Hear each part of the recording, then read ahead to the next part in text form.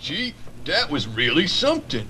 See, Frank, I told you, it's not easy to do ballet well. Yeah, but what has that got to do with the mambo? Frank, why do you keep asking me about the mambo? Because that's what the guy on the phone wanted to teach me.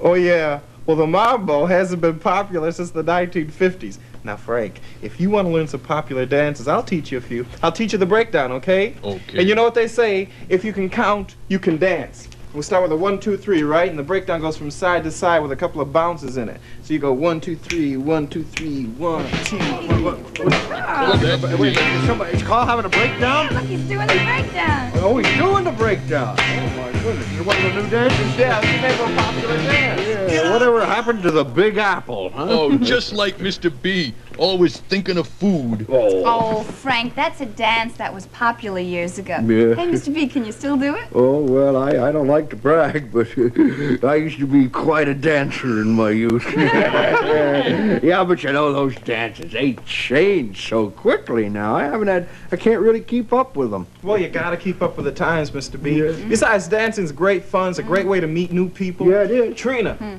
do you remember the uh, twist and the monkey? Oh, yeah, and the boogaloo was my favorite one. I used to like the... Twisting monkey boogeyman? No, yeah, I used to like the Charleston. That was my, my favorite dance way back when. Hey, Mr. B, why don't you show us a little? What? Show, do a little Charleston. Oh, Yeah, all right. cut a rug and 23 skidoo. That's what they used to say, isn't it? What does that mean? Oh, it means like, uh, oh, uh, you, you groovy or work out or something Yeah. like that. You know, I, I remember there was something in this trunk the other day. Yeah, it's still Oh, here. look at I'll put- that. why don't you put the Victrola on, Carl? great. And, uh, and we'll, uh, Okay. we'll try it. Hey, a whole party. Yeah, Here we go. okay, okay. You Put ready? it around there. Okay. Okay, you ready? Put it on. Let her rip, son. Hey,